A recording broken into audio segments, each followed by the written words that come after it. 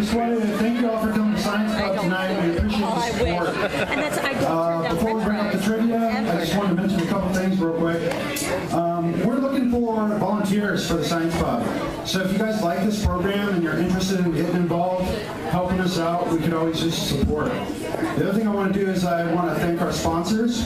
So the Taproot, they provide this place for us for free every time we do this. They provided a gift certificate for the winners of trivia, drink tokens for the presenter. It's really amazing what they do. So thank you, Taproot. And uh, if you guys could make sure to remember to tip your servers. You know, they work really hard. The other thing I gotta thank is Alaska Commons. They're one of our sponsors.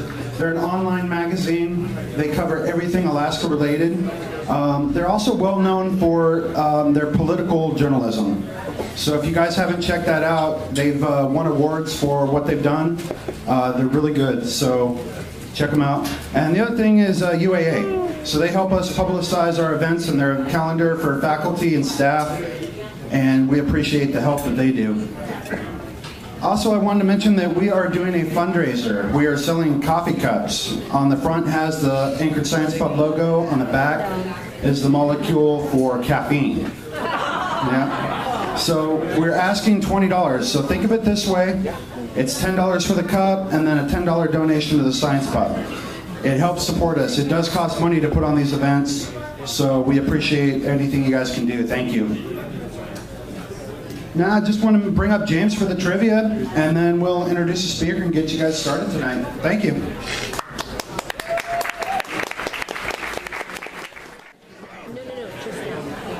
So, to introduce our speaker, Travis has done uh, several science clubs now. He's one of our favorites. We really appreciate him coming back. He's a professor of physics and astronomy. See, I got it right that time. At UAA. For over 20 years, he has used giant telescopes at Kitt Peak National Observatory and Gemini Observatory to create color images to share the universe with the public. During that time, he has created over 200 images, many of which are in his new book, we have the lemonade? right here, that we have for sale up front. It's uh, $40. Usually it's 50 so you get a discount. And uh, he will also be willing to autograph them for you after the presentation. So thanks.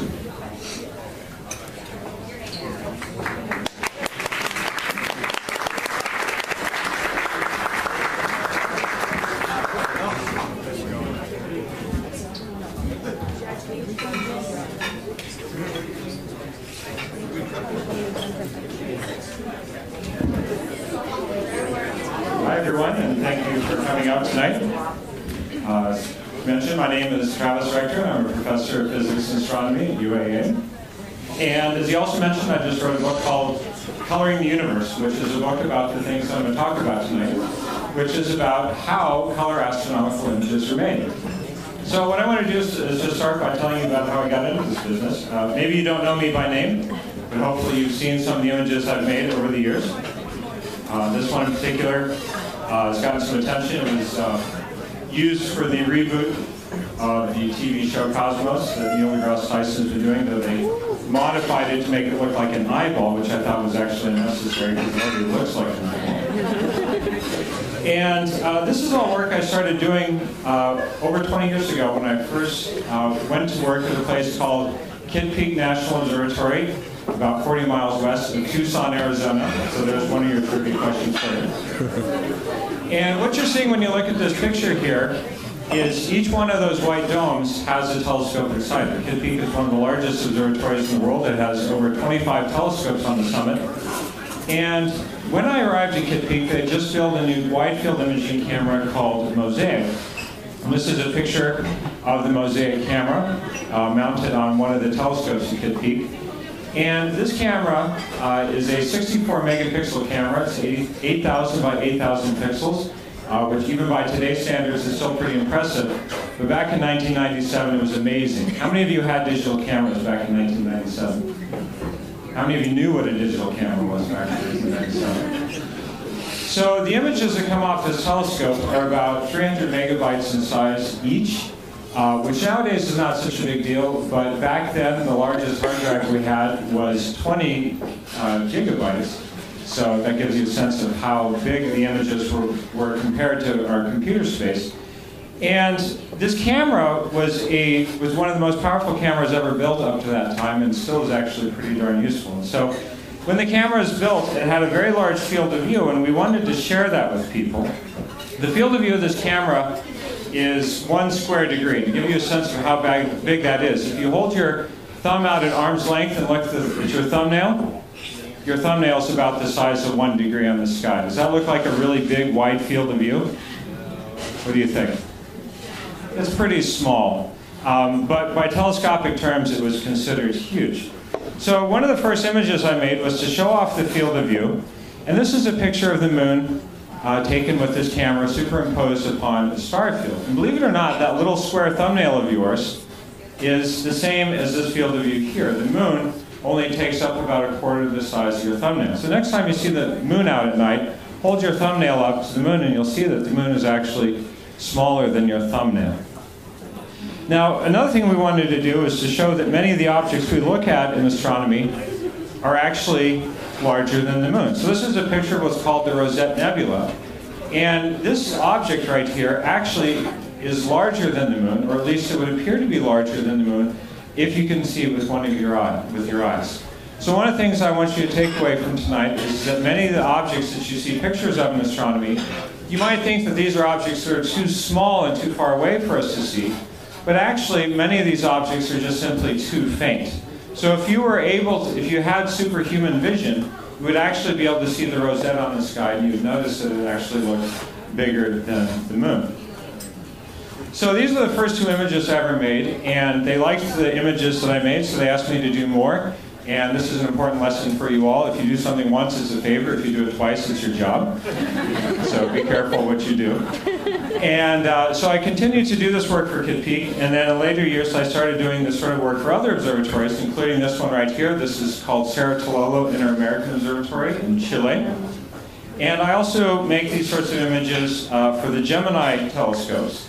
Uh, Gemini, as you can imagine by the name, is, is, consists of two nearly identical telescopes. One is on the summit of Mauna Kea, the big island of Hawaii, and then the other one is on Cerro Pachón in Chile. So for over 20 years, I've been making these images. I've made over 200 images in that time, and uh, a lot of people have asked me questions about the images, and so what I wanted to do tonight was answer a lot of those questions that uh, I often get asked. So people often ask me, why do we make these images? Well, as you can imagine, the first reason we do it is to help visualize scientific results. We make these images not only uh, for astronomers like myself to be able to learn things about the objects we're looking at, but also to share uh, with people the science that we're doing with these telescopes. We also make these images to demonstrate new technologies that we've built. So for example, this is a picture uh, with one of the Gemini 8-meter telescopes using a technology called adaptive optics. And adaptive optics is a technology that is able to counteract the blurriness of the Earth's atmosphere. So this image right here actually has uh, is sharper than what the Hubble Space Telescope can do. And what you're seeing in this picture right here, these objects right here are stars that are being shot out of the Orion Nebula at very high speeds. And then finally, and probably the most fun reason we make these images, is just simply to make images to share with people, to show you the beautiful things that our telescopes can see. So over the years, people have also wanted to know whether or not these images are real. So this is a Calvin and Hobbes cartoon uh, from back in 1988, which is before Photoshop. It just goes to show how amazing Calvin and Hobbes was at predicting the future. And so when I show my images to people, and I show astronomical images, these are questions I often get. Is this what it really looks like? Are the colors real? Or even, if I were standing right next to this, is this what I would see? And these are all very good questions to ask. We'll just kind of put aside for the moment the question of what does it mean to stand right next to a galaxy? Um, but what people are really wanting to know with these questions is, is whether or not what they're seeing is real objects. So what I like to do is to show people this comparison. So this right here is a picture of a famous object. Does anyone know what this is? The Horsehead, right? So this is the Horsehead Nebula. Anyone know why it's called the Horsehead? Because it looks like because it looks like a horse's head. That's right. So this is uh, one of the most famous objects in the night sky. This is a picture also taken with that mosaic camera. And this picture right here is again about the size of your thumbnail. So if you could see it, this is an object that would appear to be bigger than the moon. So let's imagine that you were able to get in a spaceship and you were able to fly the thousands of light years that it takes to get out to this nebula. And then you get out there and you look out the window. Well, this is what you would see. So even though you took your spaceship and got a lot closer to this object, you still couldn't see the nebula. And so when people ask me questions like, is this what it really looks like? Unless what you're looking at is pretty much all black, the answer is no. so why is that? Well, there's a couple reasons. The first has to do with something called surface brightness. Surface brightness is a ratio of how much light is coming from an object to how big the object appears in the sky. Now, as you're flying in your spaceship out to the Horsehead Nebula, you're getting more light from the object because you're closer to it, but the object is also getting bigger. So it turns out that ratio of surface brightness stays the same. And this is actually something you can do at home. Walk towards a wall, and as you walk towards the wall, you'll notice that the wall is getting bigger, but it's not actually getting brighter. So what this means is, is that if you cannot see the object from standing here on Earth, even if you got closer to it, you still would not be able to see it. And again, the Horsehead Nebula is plenty big enough for you to see. It's bigger than the moon in the sky. It's just simply too faint for you to see. So even if you got much closer to it, you still wouldn't be able to see it. And this is the whole reason why we build telescopes, is to be able to allow us to see things we wouldn't normally be able to see. Now another problem with our eyes is, is that our eyes are not very good at seeing color in faint light. If you look up at stars at the night sky, there's only a handful of stars that are actually bright enough for your eyes to see color in. So there's a bright red star in the constellation of Orion that's called Betelgeuse. You can see that it's red. And there's a few other stars as well, but pretty much all the other stars in the sky just look black or white. So our eyes are not able to see color very well. And in particular, we're not very good at seeing red light. And the reason why this is important is because the universe is full of hydrogen gas. Most of the gas in the universe is hydrogen. And when hydrogen is hot, it produces a specific color of red light that's called what?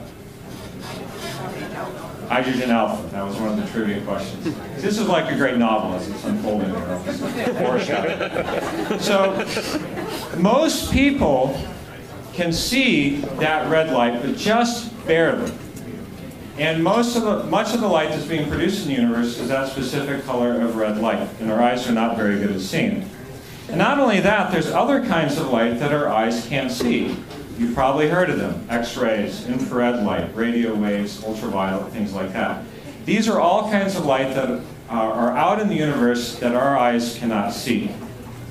So an analogy that one of my co-authors on the book likes to use is imagine you have a piano keyboard with 88 keys on it. What our eyes can see is analogous to if your ears could only hear one of those keys on the keyboard. So let's imagine you're listening to Debussy and all you're hearing is that one key. It's not very interesting, is it, right? So that's the problem, is that our eyes, as remarkable as they are at seeing things during the day, are terrible at seeing things at night, and there's all these other kinds of light that our eyes can't see at all. So the reason why we build telescopes is to give us superhuman vision, to literally allow us to see things that are invisible to us. It wouldn't make any sense to spend billions of dollars building instruments like the Hubble Space Telescope if the Hubble saw exactly what your eyes saw.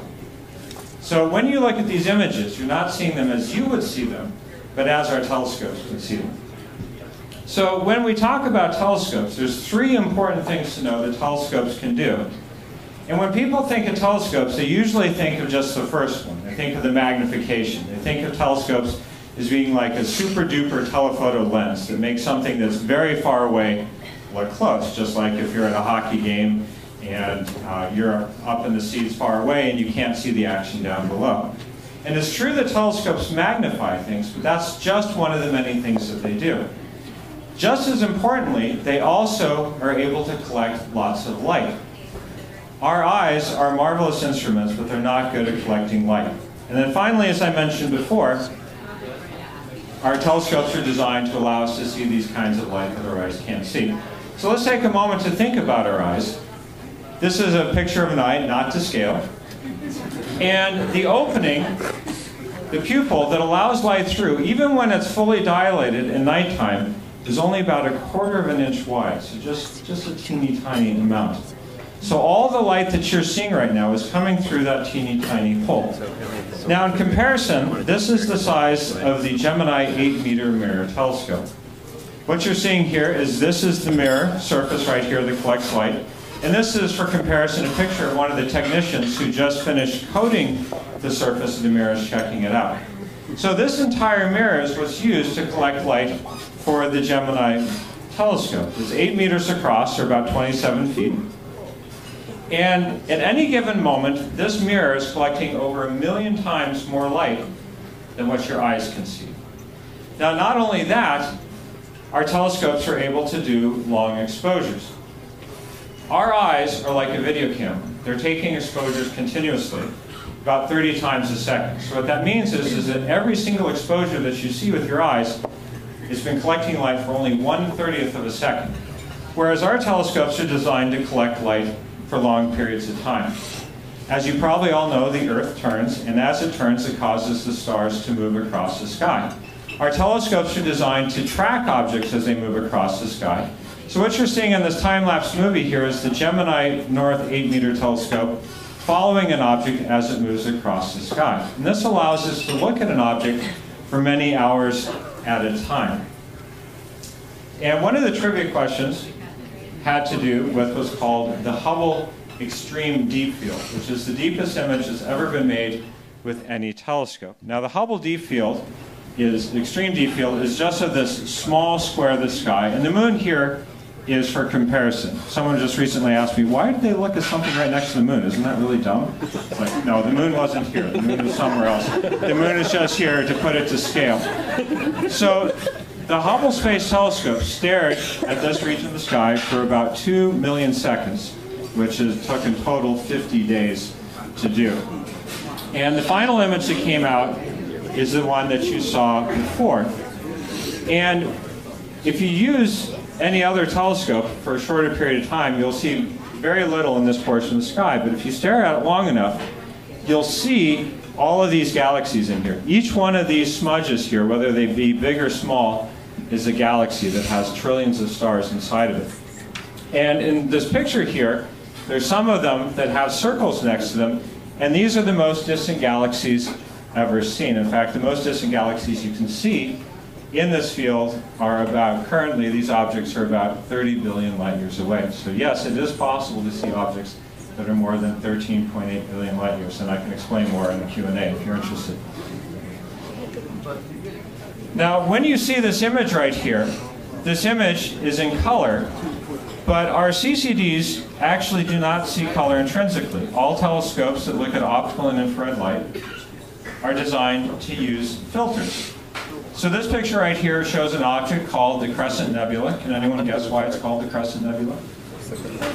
It looks like a crescent. See, astronomers aren't very interested in So this is a single picture taken with the, the Mosaic camera on Kitt Peak.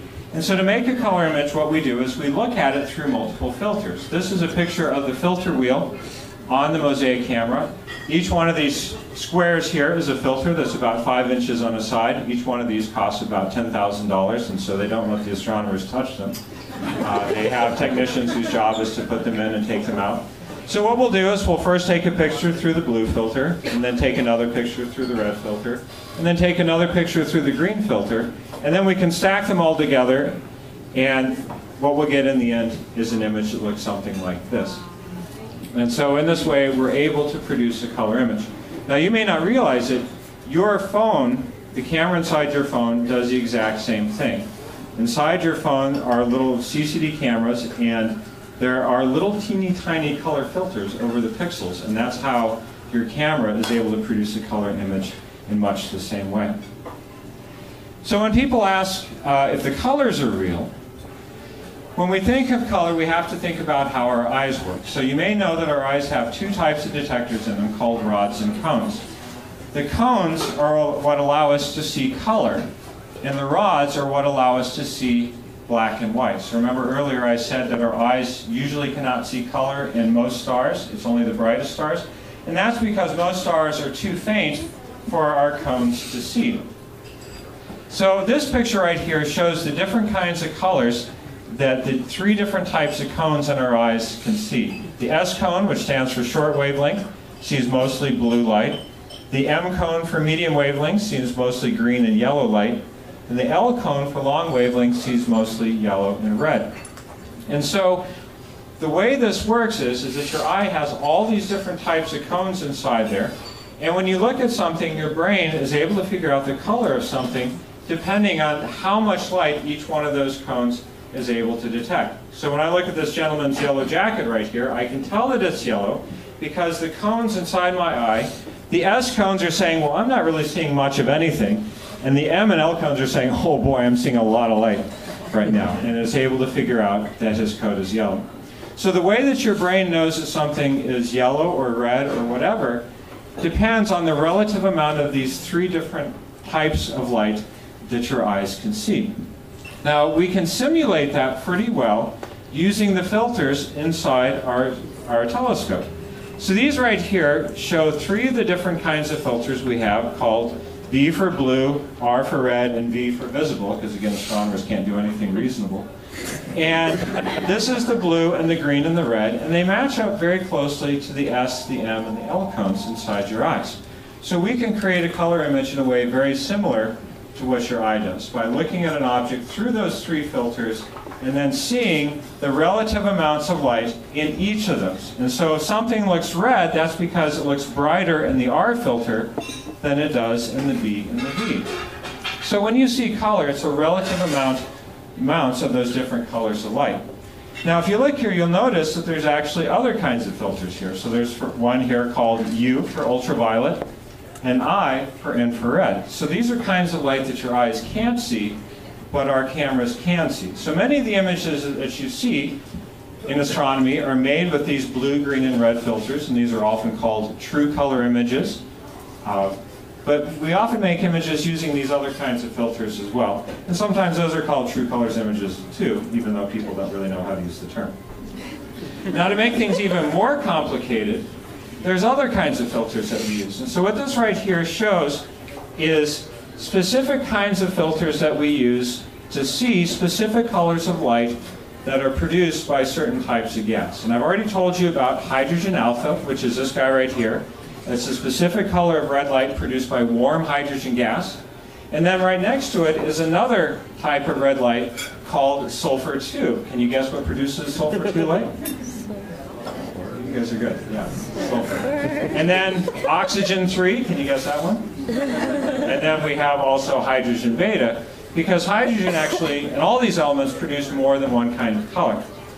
So what we do is we use what are called narrowband filters, and these are filters that only allow that very specific color of light to go through. And what it does is it allows us to see what those specific types of atoms are doing in the nebula or the galaxy that we're looking at. Now one thing I'll mention is, is that hydrogen and alpha sulfur 2 are two different kinds of red light, but your eyes can't tell the difference because they're so close to each other they look essentially the same. So your eyes can't tell them apart, but our telescopes can. So when we make images, sometimes we use phrases other than true color and false color because if something sounds like false color, it sounds like it's not real, right? So sometimes we use what's called natural color, which is the phrase that we use to describe something if we use like blue, green, and red filters. And then we'll use the phrase representative colors for other types of color combinations to show that what we're doing is representing the science inside the images. So here's a side-by-side -side comparison of two images of the same galaxy. The first one is an image produced by just blue, green, and red filters. And then on the right we have the same galaxy where we've actually used eight filters to look at.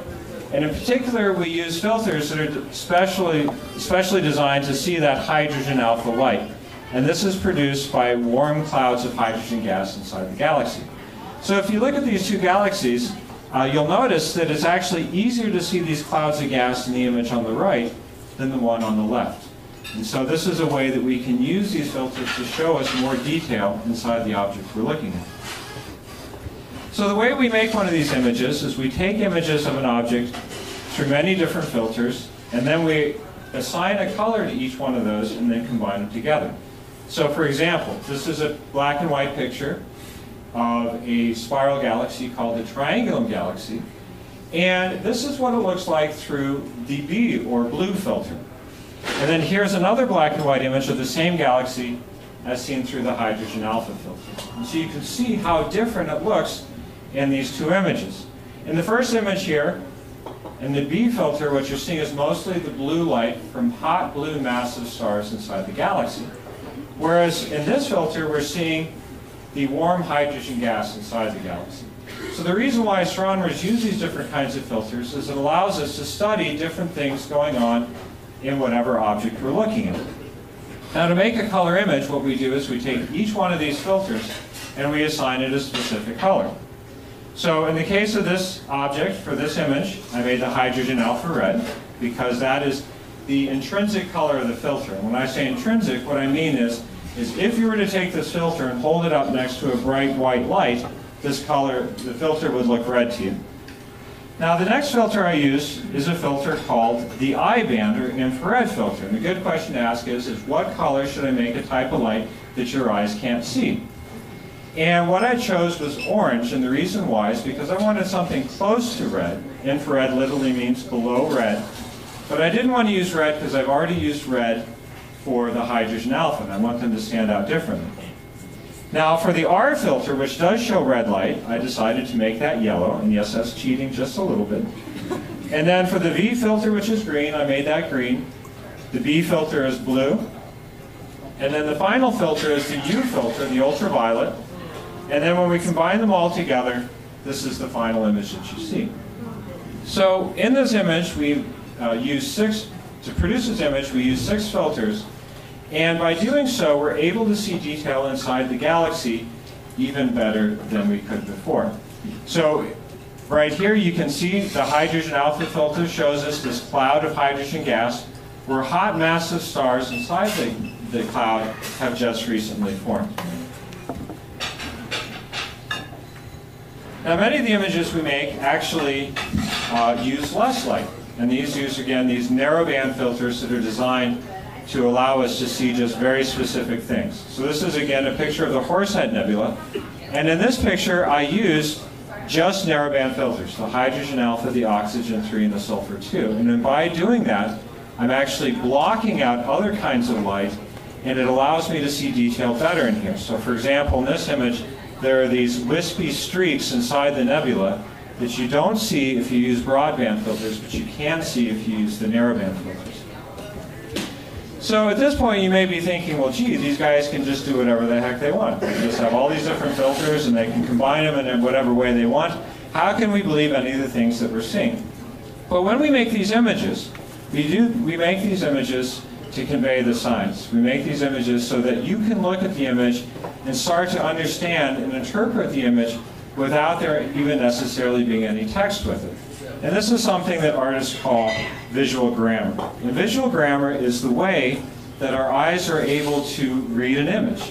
When we look at an image, our brain is already starting to process subconsciously what it is we're seeing. So for example, when I show you this picture, tell me, which half of the image do you think is further away? The top half or the bottom half? The top half. That's the easy part. Why?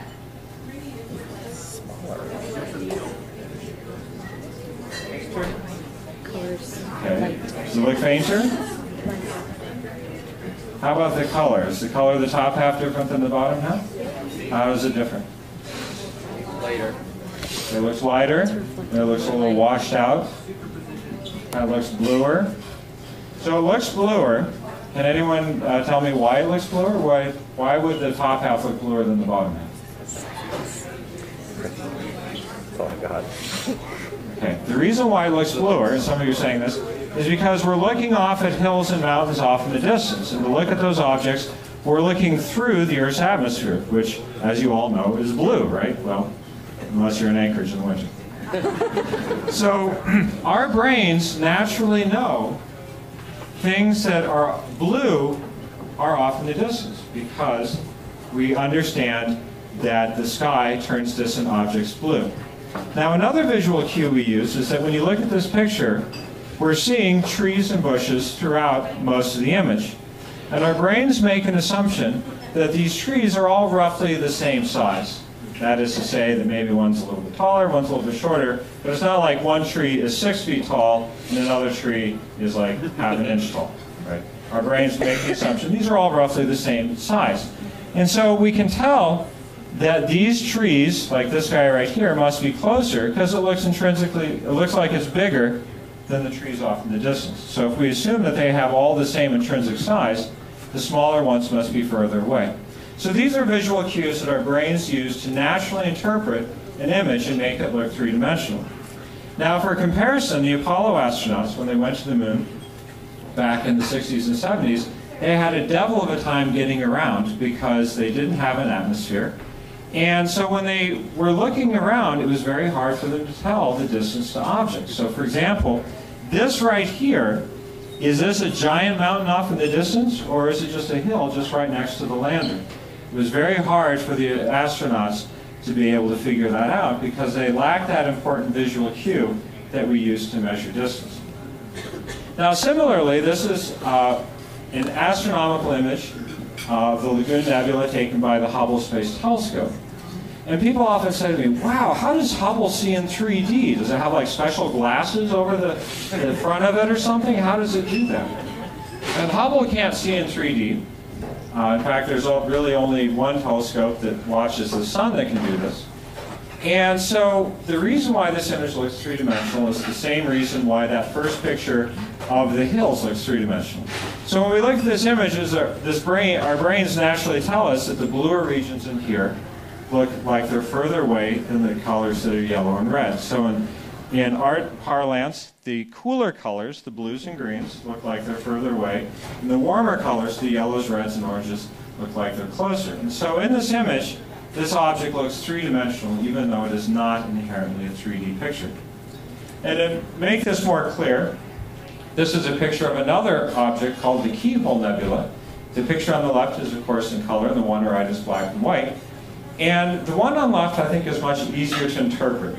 You can imagine this as being a real place in outer space, whereas the picture on the right just looks like some sort of abstract black and white sketch. Once you take away the color, you lose that ability to perceive depth. So by using color, our brains are naturally able to interpret things about what they're looking at. Now another way in which we use color is actually to imply temperature. We naturally think of things that are red as being hot and things that are blue as being cold because most flames, except for the flame on a natural gas stove, are red and ice for the most part is blue. It's actually, in science, just the opposite. The blue things are the hot things. So the hottest stars in the universe are blue stars, the coolest stars are yellowish and reddish stars. But because of our daily experiences, we think of red as being hot and blue as being cold, because we've all heard of red hot or maybe white hot, but we've never heard of blue hot, right? And that's because if you try to make something hot enough that it would turn blue, here on Earth it just melts. But stars up in space can achieve those temperatures. So we think about these things when we try to create an image that tells a scientific story. The point of all of our images is to try to convey the science of what it is that you're looking at and to look good as we do it. So this is an example of an image that we made where we use visual grammar to help make the image more intuitive. The picture on the left is that same triangular galaxy that I showed you earlier. It was taken through an optical telescope on Kitt Peak. And the image on the right shows the same image on the left, but we've added data from a radio telescope called the Very Large Array. Did any of you see the movie Contact with Jodie Foster? She's out there with the headphones and there's all those sat giant satellite dishes there. That's a radio telescope. And you can't hear radio waves, by the way, I'll just say that. Jodie Foster did a disservice to all of the science community with that movie. And more reasons than one. So that radio telescope can see cold hydrogen gas. You'll notice that up to this point I've been saying that the hydrogen alpha light is, comes from warm hydrogen gas inside uh, the galaxy. Cold hydrogen gas is not energetic enough or hot enough to produce light that we can see with our eyes, but it can produce radio waves. Radio waves are a low energy form of light that our eyes cannot see. So we combined radio data with optical data. So the question was, what color do we make the radio waves? Again, the challenge here is, is you can't see radio waves, so what's a color that makes it reasonable uh, when we make these sorts of images? Well, we chose purple or violet uh, because of two reasons. The first is, is that violet is a mix of red and blue. And this gas right here, the cold hydrogen gas, is the same kind of gas as the gas in the warm hydrogen alpha clouds. So we wanted them to blend naturally so that people would be able to understand that these are connected. If we used a color like green, they don't blend and it looks like this gas here is not connected to this gas, and that's not true. They are connected. The other thing is, is that we wanted a color that had blue in it, because again, most people think of blue as meaning something's colder. So we wanted people to look at this image and naturally be able to interpret that this gas right here is connected to this gas right here, that this gas is colder. And that's exactly what's going on. Now, I'll be the first to admit that we probably overthought this when we made this image. Probably most people like, yeah, that's cool, whatever, and then go to the next page. Um, but that's the thinking that goes into making these images. So one thing that I want you to know is, is when we make these images, the challenge is, is how do we take what the telescope can see and turn it into something that you can see and do it in a way that what you're seeing looks authentic. That is, it doesn't look like something that was in a recent blockbuster movie. Sometimes people ask me, is there a conflict between art and science? How can something be fun to look at? How can something be pretty uh, and still be scientifically accurate? Which kind of implies that for it to be scientifically accurate, it has to be really boring, which is a shame because I don't think that's true at all. I think what I do is pretty darn awesome. and so one of the things I like to emphasize is, is that there's no conflict at all when we make these images, we're trying to use the tool that artists have learned for years to make an image uh, that naturally conveys what's going on. So I spent many years kind of just learning by accident some of these tools, and then I talked with a friend who was an art major. She's like, oh yeah, we learned that in Art 101. You didn't know that? Everyone knows that. So we try to use the tools of art to convey something scientific. And this is a picture of what's called the Iris Nebula, and I'll let you guess why. And this is a picture that actually we made an image first, and then in the process of making an image, we got some cool science out of it. If you zoom in, uh, you'll notice there are these little red blobs in here, and as you can probably guess, these are produced uh, by warm hydrogen gas. And what you're looking at is a dark cloud of gas where new stars are forming. And one of the challenges is, is seeing what those new stars are up to because they're in these thick clouds of gas and it's hard to see inside. So by making an image in this way, we're able to see just these little faint specks of warm hydrogen gas inside where these stars are forming. Now if I turn this into a black and white image and amplify the red light, you're able to see this more easily, even uh, easily. And what you're seeing here, these objects are what are called Herbig-Haro objects. And these are jets of gas that are being shot out of stars that are forming there. And if you look inside this cloud of gas using uh, the Spitzer Infrared Space Telescope, we, can, we were able to find that there's a bunch of stars that are indeed forming there. So this is a fun example of how we went the other direction. Usually we have an interesting scientific result and we make a color image to illustrate that. In this case, we made a color image, and out of that, we got an interesting scientific result. So sometimes it can go both ways. So as I mentioned before, I've made uh, over 200 images over the years, and I keep all of these images, or nearly all of them, uh, on my own personal website. Um, UAA does not do a very good job of naming websites, so it's easier if you just Google my name. But if you're interested in finding some of my images, uh, I do have a website. Fortunately, Travis Rector is a unique enough name. I'm easy to find. And on this website, I have many of the images I've made over the years. Uh, not only images that I've made through telescopes, but images of some of the cool telescopes that I've gotten to use over the years. And uh, I've also got some of my panorama images of some of the observatories as well. And as was mentioned at the start, uh, along with some co-authors of mine, uh, we've written a book called Coloring the Universe. And our book is all about how these images are made. And it was published by the University of Alaska Press this uh, November. It's 250 pages with over 300 astronomical images. And uh, I'm just pleased as punch at how it came out. So if you're interested in seeing the book and getting a copy, um, there is a display copy at the back here uh, where you came in, and we also have books up here. So after the Q&A, if you have, uh, if you'd like to see the book or get a copy, I'd be happy to sell you one. They normally sell for $50, but I'll sell you one for 40 cash, credit card, and check accepted. and um, and uh, just to wrap up, I have this cool little video that we made, uh, what's called a book trailer. I didn't know what a book trailer was till about a month ago.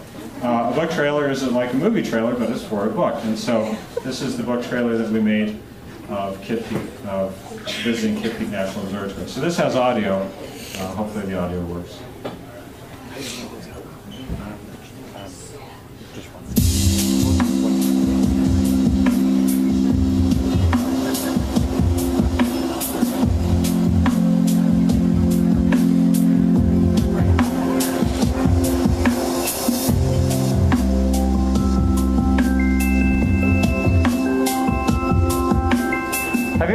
At an image of space, say like a galaxy or nebula, and wondered, is this real? Is this what it really looks like? Or maybe you even ask yourself, if I were standing right next to this object, is this what I would see? Hi, I'm Travis Rector, and I'm a professional astronomer. For the last 20 years, I've been coming here to Kitt Peak National Observatory in Arizona to make beautiful images of space using the giant telescopes here. Along with my collaborators, Kim Arcand and Megan Watzke of the Chandra X-ray Observatory, we have written a book called Coloring the Universe, which gives you a behind-the-scenes look at how these beautiful images of space are made with a professional telescope. We're now inside the dome of the Mayall 4-meter telescope. This is the largest telescope on Kitt Peak and is one of my favorite to use. In our book, we have over 300 color images of space, many of which were taken with this telescope. With this, we can see objects that are over 100 million times fainter than what the human eye can see. We're now inside the control room of the 4-meter telescope. This is where the astronomers sit when they're observing at night.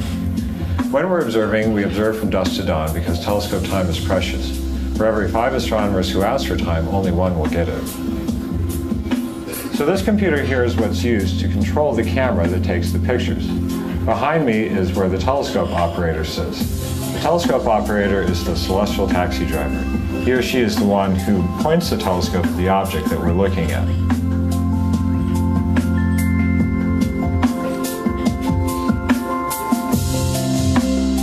Professional telescopes like these give us superhuman vision. They literally allow us to make the invisible visible. In Coloring the Universe, we explain how we use these giant telescopes to make color images of space.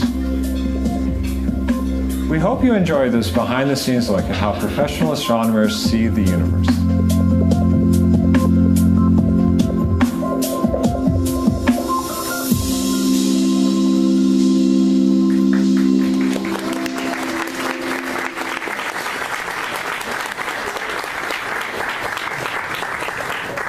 Thank you. So you've learned two things. One is I can't act, and two, I only have one sweater. so I'd be happy to uh, take any questions you might have about anything I've talked about or anything else astronomy related. Yes, sir, in the back. So you explain the principle behind how you can see objects Okay, so you're asking about the trivia question. So this gentleman wants to know how can you see something that's more than 13.8 billion light years away? So as you probably know, a light year is a measure of how far light will travel in a single year. And to give you a sense of how fast light is, it can travel 186,000 miles in one second. My car just uh, crossed that threshold uh, last summer. Uh, it took me uh, 15 years to do it, but light can do it in one second. And so you might think, well, if something, if the universe has only been around for 13.8 billion years, how can we see something more than 13.8 billion light years away? Wouldn't it take too much time for the light to get here? And the answer is that would be true if the universe was not expanding. So the important thing to know is, is that the universe is expanding, and as it's doing that, objects are being taken away from each other. So the object that's that galaxy that's 30 billion light years away, that's how far away it is now, not how far away it was when it emitted that light. When the light we're seeing in that Hubble Extreme Deep Field image left, that uh, it was much closer to us. And in the time that it took for the light to travel to us, the universe is expanding. And so when we talk about the distance to an object, we're usually talking about how far away it is now, and that's how we can see something that's 30 billion light years away. Does that make sense? Okay.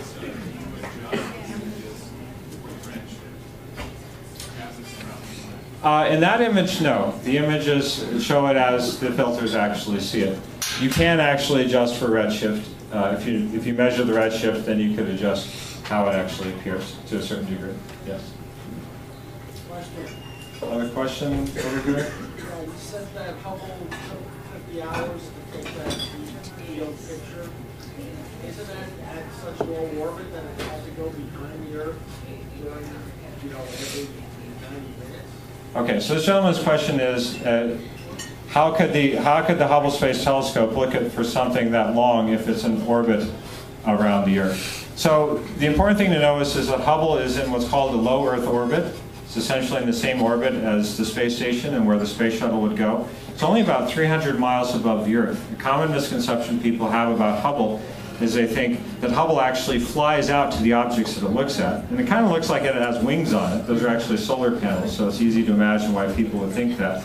But it's actually in a low Earth orbit, and it takes about 90 minutes for it to go around the Earth. Now, depending on what object it's looking at, for roughly half that time, the Earth might be in the way. So for the Hubble Extreme Deep Field, they looked at a field in the sky that's up in what's called the continuous viewing zone, which is that it's looking north so that no matter where it is in its orbit, it can look up. But what I'll actually mention is you mentioned 50 hours. Actually, you spent 50 days doing that. So it actually took even longer than that. There was a hand down here. Did someone have a question? Over here? Yes, sir.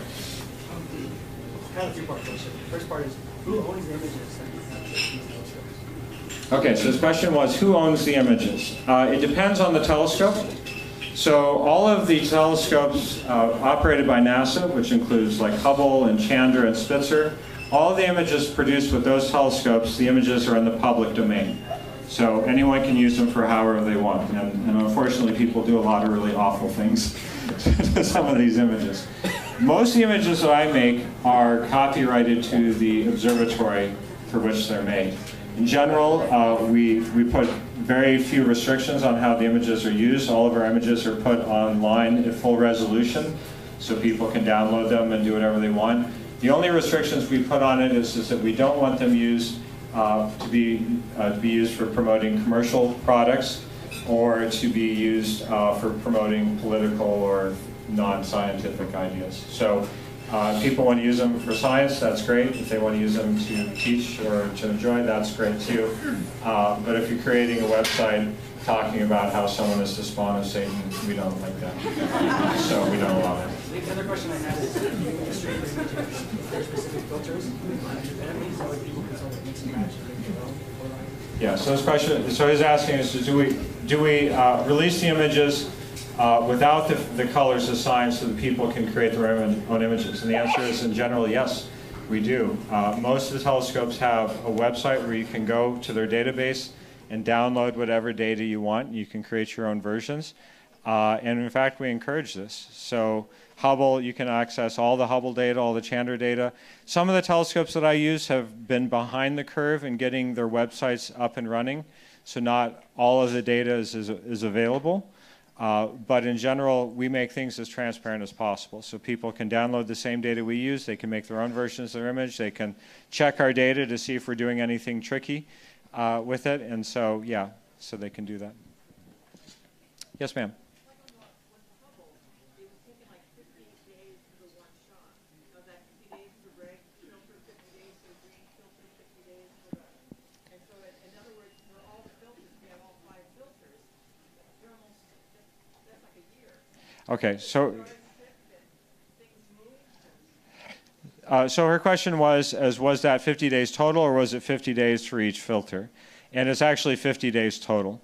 no single exposure was taken for more than about a thousand seconds, or about 15 minutes. And so there's actually more than just three filters that they used. I think they used five to eight. I can't remember the exact number. And that's what was used to produce the final color image. So the 50 days was the total amount of time spending, and they and they and they did generated hundreds of images through many different filters.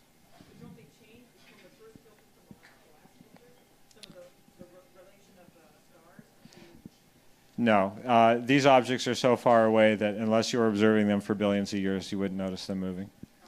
Yeah, yeah. Yes, sir. Um, what kind of, or will the James Webb Space Telescope have filters, and if so, what, what kinds? So you probably all heard of what's called James Webb Space Telescope, which is uh, being uh, is often being uh, described as the successor to Hubble, and it really isn't because it's a different kind of telescope. It does primarily infrared light, and so uh, we'll have filters, uh, and it'll work in a way similar to Hubble, but it's looking mostly at infrared light. So it's actually going to be more like the Spitzer Space Telescope in that way, but it'll be incredibly powerful. And the reason why we're interested in infrared light is because it'll allow us to see uh, what's going on in the most distant galaxies.